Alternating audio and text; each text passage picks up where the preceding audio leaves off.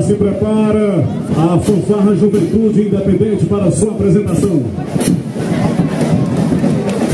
Escola de Ensino Integral Joaquim Alves Feitosa, Escola Municipal de Tempo Integral Joaquim Alves Feitosa, situada no distrito de Vila Feitosa.